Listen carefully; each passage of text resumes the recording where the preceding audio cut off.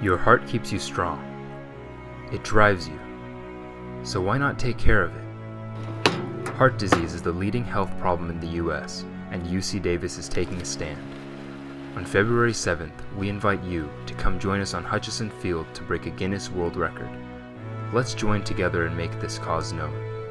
So please, love your heart and help save a life.